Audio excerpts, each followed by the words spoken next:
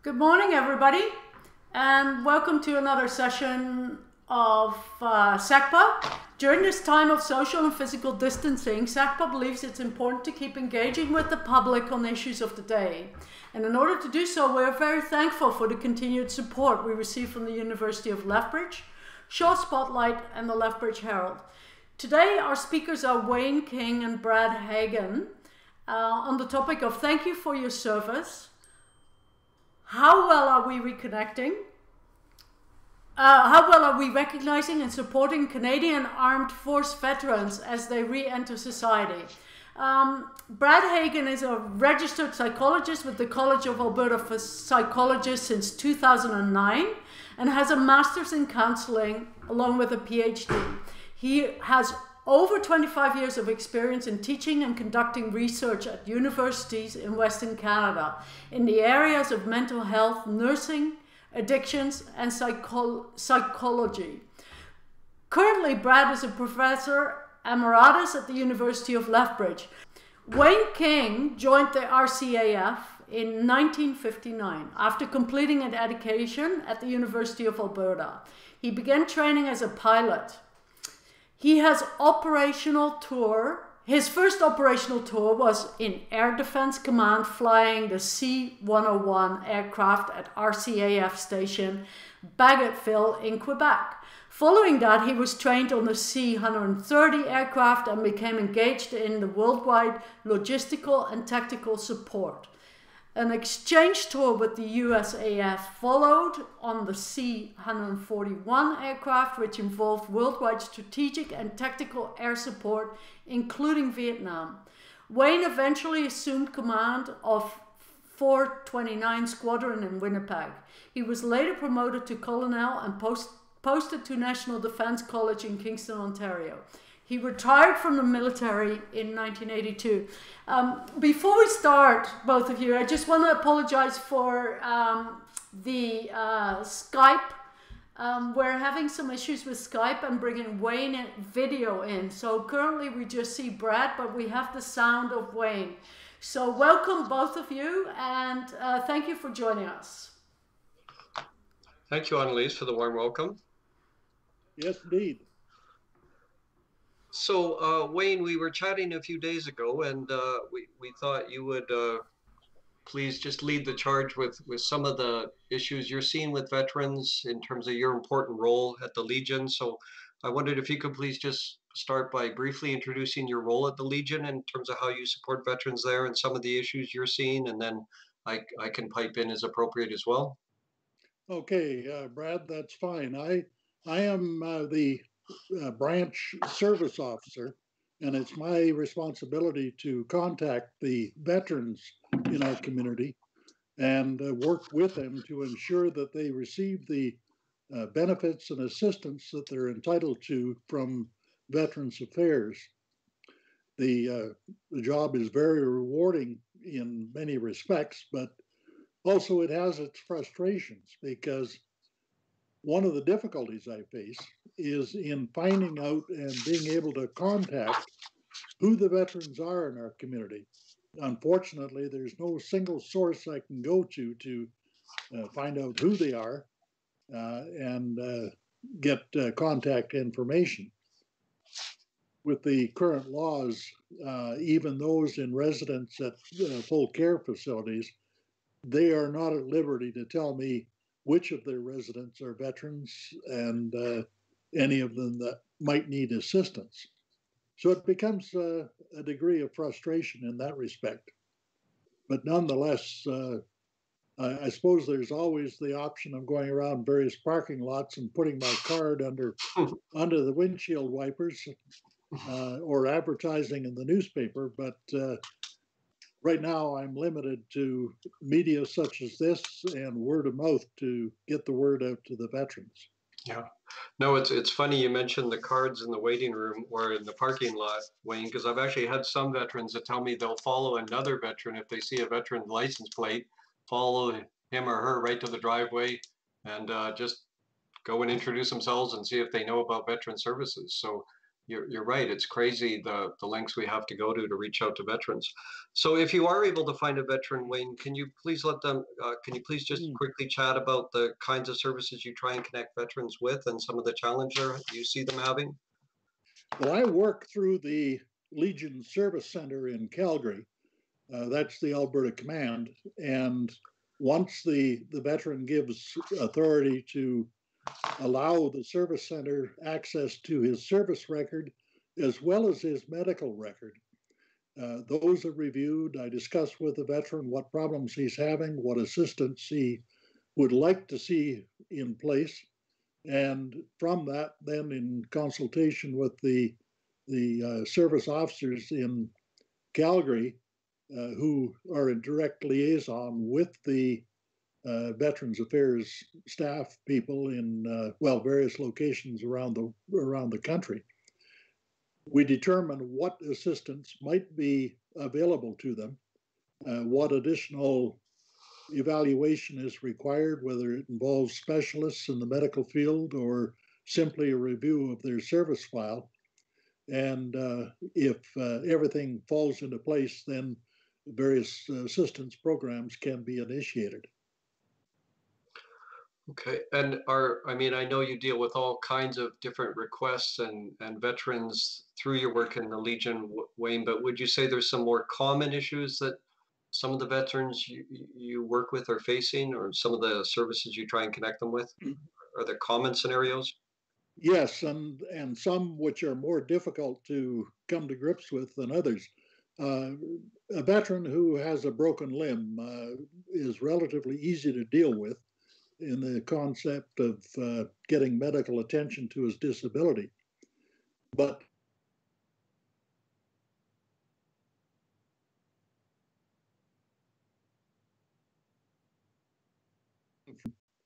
psychological effect of the service they've been involved in over the years. And those are difficult, uh, as you will certainly be able to attest, difficult to pin down and identify in any concrete way. But the real difficulty is in how do you treat those disabilities? Because yeah. the, the impact is not only on the veteran, but it's also on the, the veteran's family, their children, their spouse, and uh, those in their uh, social community. Yeah, exactly. Um, so Wayne, I can I can speak to that in just a few moments. But do you um, do you have some ideas as to why uh, maybe veterans don't approach you directly, but it's maybe a friend or family member or something that tries to connect with you? Well, the veteran typically, when he uh, either volunteers or is selected for overseas duty in a in a hostile environment, undergoes in company with his uh, teammates, his, the uh, members of his unit, uh, they undergo some very intensive training over a prolonged period of time. And they're not sent overseas until their instructors feel that they're properly prepared for the uh, dangers and the uh, environment that they're going to uh, enter into. Once there, of course, they they very quickly realize just how difficult and how much at risk they are, and uh, but yet they're in a very tightly knit community of uh, soldiers, sail, sailors, airmen, and it's it's a bond that develops which uh, certainly is comparable to that in a in a family, and one which the the veteran or the uh, soldier, airman, sailor very quickly becomes dependent upon. They know that their comrades have got their back, and they similarly have the back of everybody in their unit. But when they return back to Canada out of that environment, some of the the uh, difficulties and quite frankly the horrors of uh, some of the uh, scenes that they were involved in uh, remain in their mind, but yet they're separated from that support structure that they've been able to have while they were in service. And they tend to isolate themselves. They isolate themselves from the community, they isolate themselves from their family. and the difficulties arise, which impact all of those social connections. Yeah, exactly. Um, you, can I just speak to a few of those points, Wayne? Because I think you raised some important points, and they're things that I see with a lot of the veterans I work with. You certainly can. Yes. Yeah. So as you pointed out, uh, Wayne, a lot of the veterans I talk to, they're you know they're obviously a bit nervous or maybe apprehensive or a bit excited when they're going overseas on some kind of deployment or even doing some kind of uh, work in um, Canada. I was just reading about Romeo Dallaire when uh, he was involved in the mm-hmm. FLQ crisis and having to uh, deploy with with troops in Ottawa. And so, but as you pointed out, they re- they receive excellent training, and and these men and women are actually excited to go over and do what they're trained for. And as you obviously pointed out, even though we ask these men and women to do very, very difficult roles under extremely difficult and dangerous circumstances. They're proud of what they do, and they're they're excellent at what they do, and they enjoy a, an international reputation for being um, in, incredibly skilled uh, members of the armed forces. But as you pointed out, they they have this this tight knit group that they can get support from, and uh, they have routine and they have the resources they need. But when they come back, as you pointed out, that that's when the veterans I work with really struggle because they no longer have, as one author calls it, their, their tribe. Um, these are people that they've gone through training with and through deployments with in countries like Afghanistan or Bosnia. And then they come back and everyone disperses. Um, and they don't have this tight knit group. And as you pointed out, many veterans actually say they feel closer to these people than their own family. They've for their entire deployment. They've been within six feet of each of these people, and, and you eat with them, and you sleep with them, and you go to the bathroom right beside them, and you you take fire from them, and and uh, you're with this group. And when you come back, you, you don't have that support anymore. So um, I hear a lot of veterans just feel incredibly lonely and cut off. And as you pointed out, um, even though they've they've done incredible work overseas, it's they've seen or done things that they can't talk to their own family about and they can't talk to people who are civilians about. So, you know, I, I have quite a few veterans who were deployed in Bosnia and many many Canadians don't even know the important role that uh, the Canadians did in, in Bosnia. But there was there was a horrific genocide there, and many Canadian soldiers were involved in uh, investigating mass graves or going into hospitals or schools where there have been unspeakable atrocities. And even though they they had support over there when they come back here there, there's no one to talk to about those. Um, and as you also pointed out when they're overseas they're doing their job they're they're absorbed with their daily duties but when they come back their their nervous systems won't shut down. Um, and wayne that one of the main things i've noticed with at least about half of my veterans is they cannot shut off their fear of snipers because when they were in places like Bosnia or even Afghanistan, snipers were a real threat. Um, and even when the Canadians were involved in investigating mass graves in Bosnia, they were often um, under threat of snipers while they were doing this work. So I have many veterans who can't even enjoy a holiday in Banff or Waterton or Jasper because they have to keep the curtains closed because they're afraid of snipers, or they can't go out for a walk if there's high buildings around because they're checking the rooftops and balconies. And even though it doesn't make rational sense that there's snipers in Lethbridge, uh, their nervous system won't shut this off because these are life and death skills and their body's trying to keep them alive. But the veterans are, are in agony because they, they can't live a normal life. Their, their brains won't shut off.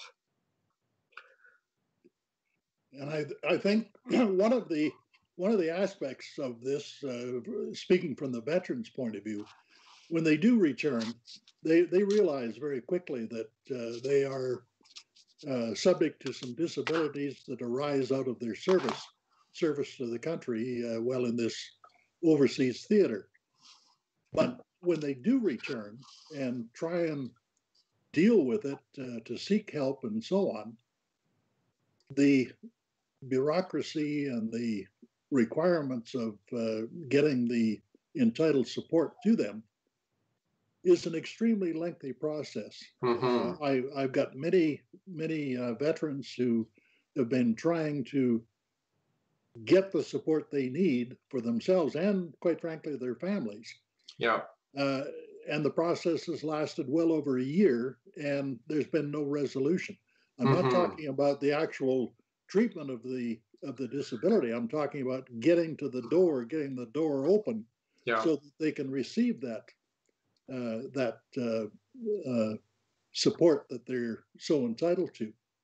And it's a very, very difficult thing. Uh, many of them, unfortunately, succumb to the feeling that nobody cares. I'm not Mhm. going to get. I'm not going to get the support, and Yeah. they they turn to drugs or alcohol, which of course does little more than worsen the the problem. Mhm. But uh, in their uh, in their reaction to their situation, they've really no other outlet. Exactly. Well, and the unfortunate thing with alcohol is it does calm down their nervous system quickly um, in the short term for at least half an hour, an hour, and when you're desperately trying to shut off your brain. Um, yeah, as, but as you pointed out, there, there's a sting in the tail and it makes things worse. Um, Wayne, I, I run into the same thing. Uh, when another veteran encourages one of the veterans I see to seek help or a family member encourages the, the veteran to seek help, um, the veteran may really be at wit's end and they may be you know so completely isolated they're they're living in a car they're they're not able to work they're they've completely isolated and cut themselves off they can't connect with other veterans. So when they when they do come for help you're absolutely right they're they're at sometimes close to the end of the rope and they want help. And then i have to try and explain to them or or coach them through or try and uh, encourage them to wade through the bureaucracy um, so i may have someone who's ready for example to try and get some assistance because they're they're you know even though only approximately 30% of veterans might have ptsd um, the ones that do have it really struggle. And so they might be ready to receive some kind of support only to face this avalanche of paperwork that they have to wade through. And i'll do my best to try and help them with it.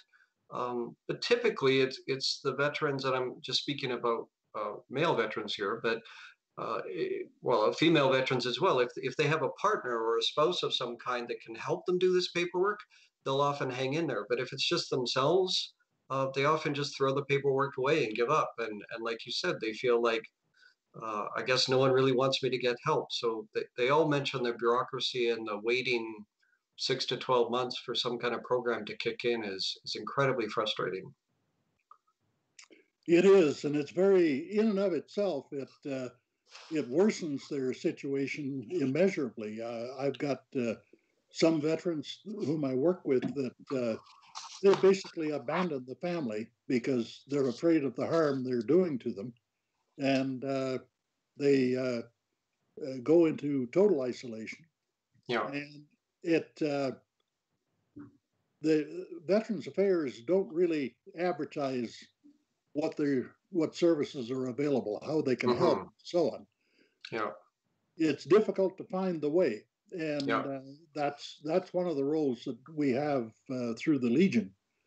But of all the well in the Lethbridge area, I would estimate that we've probably got in excess of uh, well, perhaps it well in excess of a thousand veterans in our Mhm. community Yeah, I think And- that's about right, Wayne.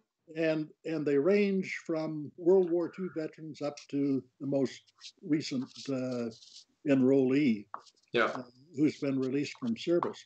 And yet, as members of the Legion, there are fewer than 300 who are on our rolls that I'm able to contact. So I know there's a whole community out there Yeah. some of whom are suffering PTSD and other disabilities uh, for which they're entitled support. But I don't know who they are, where they are. I don't have telephone numbers, names, or anything else.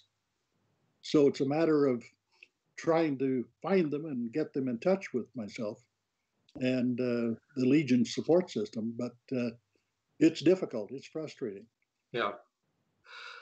Well, and uh, one of the barriers I, I find I face, Wayne, is just the issue of trust. Because as you pointed out, uh, you're you're going into deployments into incredible difficult situations like Rwanda or Bosnia or Afghanistan, and uh, you're you're facing all kinds of violence of both other people in uniform or civilians. Uh, so you learn to trust the people you're with implicitly, like you said, as they say in the in the armed forces, they have your six o'clock and you have their six o'clock, and you learn to trust these people more than you've ever trusted anyone in your life. So when you you you come back to civilian life and you're you're struggling with some sort of uh, issue, uh, it's very very difficult to just pick up the phone and ask for help because you don't really know if you could trust that person. So uh, I spend quite a bit of time reminding veterans I, I don't assume I'm going to get your trust. I'm going to have to earn your trust, but many veterans will only try and come in my door if they've had another veteran uh, specifically recommend me and say, I, I, think you can go trust Brad. Why don't you at least talk to him? But but trust is a very important thing too, because there may be some embarrassment or guilt or shame that they, they can't tough it through or push through this by themselves. Um, and they're also quite concerned can they actually trust me to hear some of the stories they have about things that they saw in places like Rwanda? Yes, that can be very difficult. Uh, they're they're trained to be as self-sufficient as uh, possible in those hostile environments, uh, while supporting their uh, their uh, comrades. But uh, it's it's awfully difficult when they come back and suddenly that structure is gone. Yeah, exactly. The people aren't there, and you don't know what is available or what you're entitled to. And when you do ask, or uh, when somebody else mentions, "Why don't you contact uh, this fellow or whatever?" Yeah. Uh, and uh, nothing happens for months and months and months. Yeah. They give up and say, "Well, nobody cares." So yeah. Uh, I guess I'm on my own. Yeah.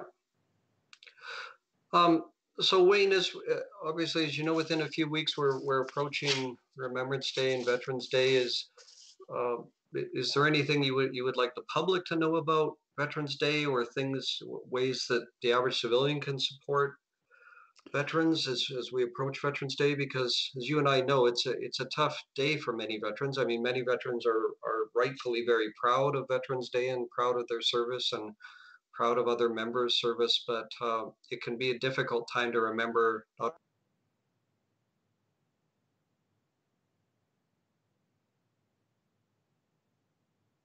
there's many, many um, veterans who have lost friends uh, to suicide. So, is, is, there anything you'd like the public to know as as we approach Veterans Day?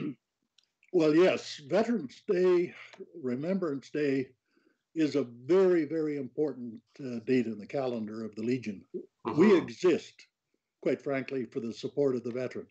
Yeah, and this year is going to be particularly difficult because unfortunately we've had to cancel the observation of Remembrance Day that we usually hold at the exhibition grounds.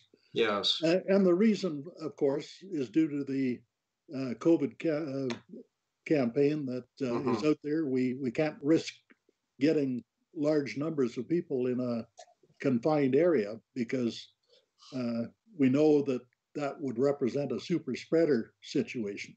Yeah in, in recent years, we've had a similar observance at the cenotaph near the city hall every year at uh, 12 o'clock. And that too draws hundreds of people in a close confined area. Yeah. So it's as much, although it's outdoors, it's still a very risky situation for the spread of the COVID uh, virus. Yes. We, we are asking this year that people not attend these ceremonies, but rather observe them on TV or uh, through other media. Uh, the Legion will have a uh, very brief remembrance ceremony there, and we're hoping to have some of the older group of our veterans, World War II and Korea War vets. Uh, we'd like to have others present there as much as we can, but uh, in that this is the 75th anniversary of the end of World War II, it's appropriate that we recognize and respect the service that that World War II veteran gave to our uh, country. Right. So we will have some there, and uh, but as I say, it's going to be a very brief ceremony, and I hope that people uh, are able to uh, observe it as much as they can on TV it is important as a society that we continue to observe and remember the service of, of our uh, military and first responders because, in many respects, they are the ones that have uh, bought and paid for our freedoms and our uh, society as we know it today. Mm-hmm. Yeah. And uh, so I would like. Uh, sorry, go ahead. Well, those are all uh, excellent points, Wayne. And uh, when I was thinking about preparing for this talk with you, um, I asked a number of my veterans um, what what they would like uh, in terms of the points you and I raised, and um, just how citizens can help support veterans. Uh, there, there was one request of things not to do. Um, the veterans I spoke to said they get a surprising number of people asking them, did, did they kill anyone or did they shoot anyone? Um, they're not sure why civilians ask this, but they they all said, "Could you could you please not ask that question? It's it's quite an insensitive question." Um, but what they all said was um, they you know they rarely get thanked for their service. They're thanked for what they did. So you know there there is the old expression, "Thank you for your service," and and they certainly do appreciate when people come up and thank them.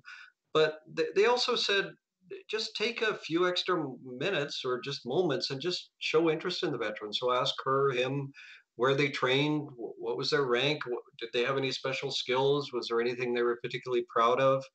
Um, so just show some interest in them. And they also really encourage civilians uh, to visit the museum out by the airport. It's an excellent museum out there. It would take half an hour to go through, and so um, they they really they love it when civilians just take an interest in what the Canadian Armed Forces have done. They, if you can't even go out to the museum, they said please just Google Canadian military and just spend a few minutes finding out where where in Afghanistan were the Canadian military, what were some of the famous uh, missions or battles that they were involved with. Uh, where's Bosnia? Where's Namibia? Um, where's Rwanda? Uh, the, the, the Canadian military has been involved in a number of very, very important peacemaking, peacekeeping conflicts around the world. So just they, they said, please just show an interest in what we do, learn a little bit about what what they've done, um, and just uh, acknowledge them and thank them and show a bit of interest in them. Uh, don't be afraid to go up and just Yeah. and they even suggested if you see a veteran with a veteran license plate, just wave, give the thumbs up, just acknowledge them. Um, if they're if you have time, give them a Tim's card, something like that. Mm. Uh, but but just just to simply show interest in what they've done. Yeah, and I would add to that, Brad, uh, when you are uh, in conversation with the veteran or members of your your uh, particular uh, group, your friends, associates, in, and you uh, are aware of some of them who are veterans, Yeah. encourage them to reach out to the Legion, Yeah. con- make contact so that uh, we can evaluate whether there's support and so on that they are entitled to, and Yeah, that uh, we can connect with them for that. The, exactly.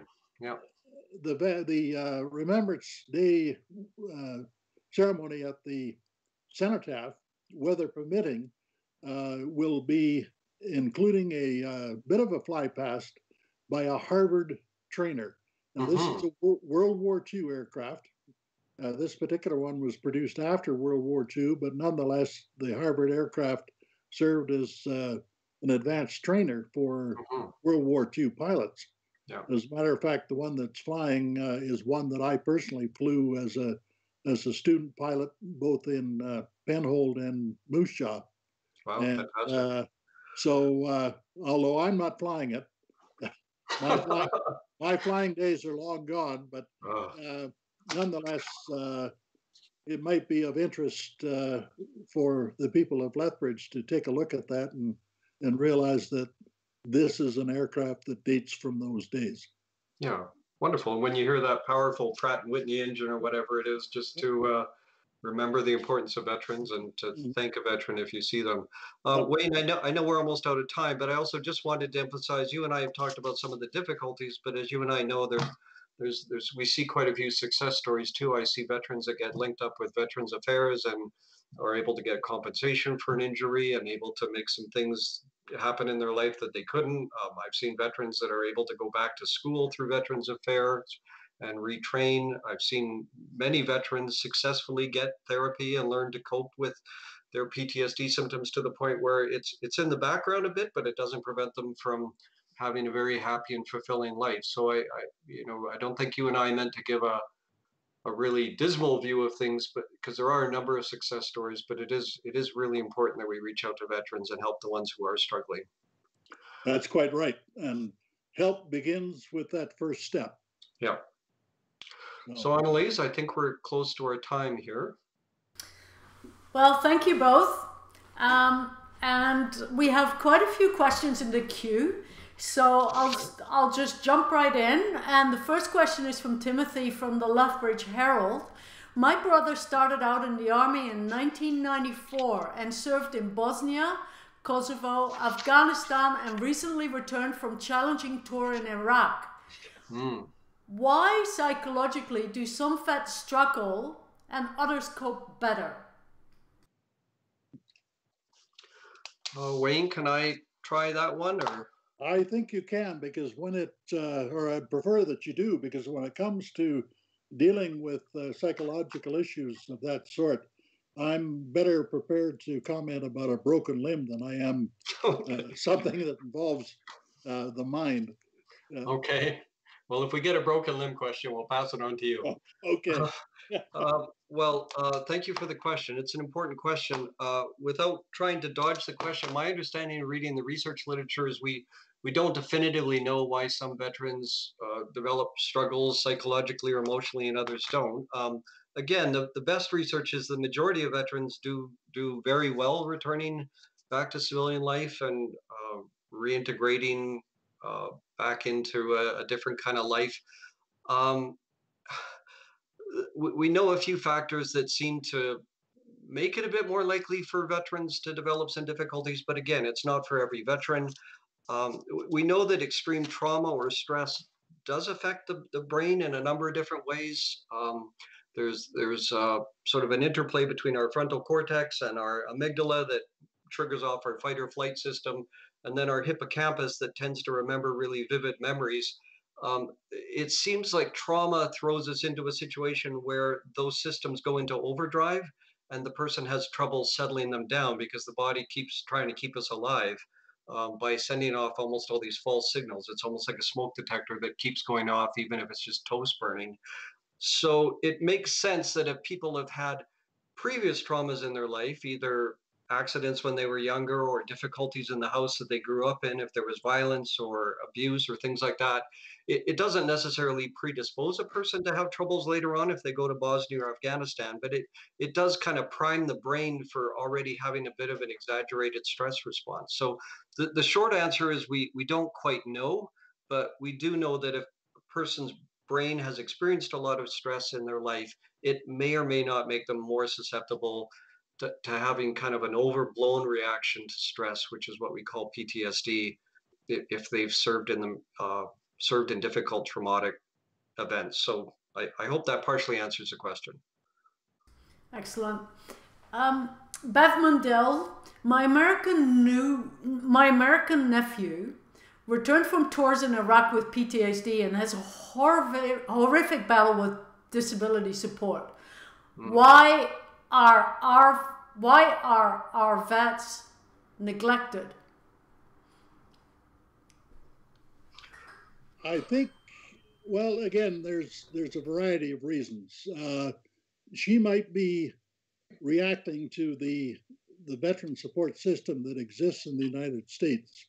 Although the objectives are similar, the approach to veteran support in some cases differs greatly our system, uh, the biggest uh, difficulty I have with our system is the time required to deal with the bureaucracy.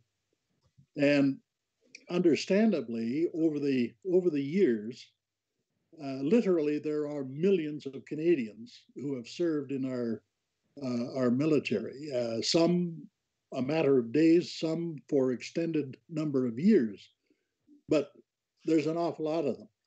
And trying to focus on the needs of uh, an individual veteran within the context of that broad group is uh, can be very difficult and very time consuming plus the government uh, uh, right now as we can all appreciate uh, is perhaps more focused on things like COVID 19 and uh, other social issues rather than the veteran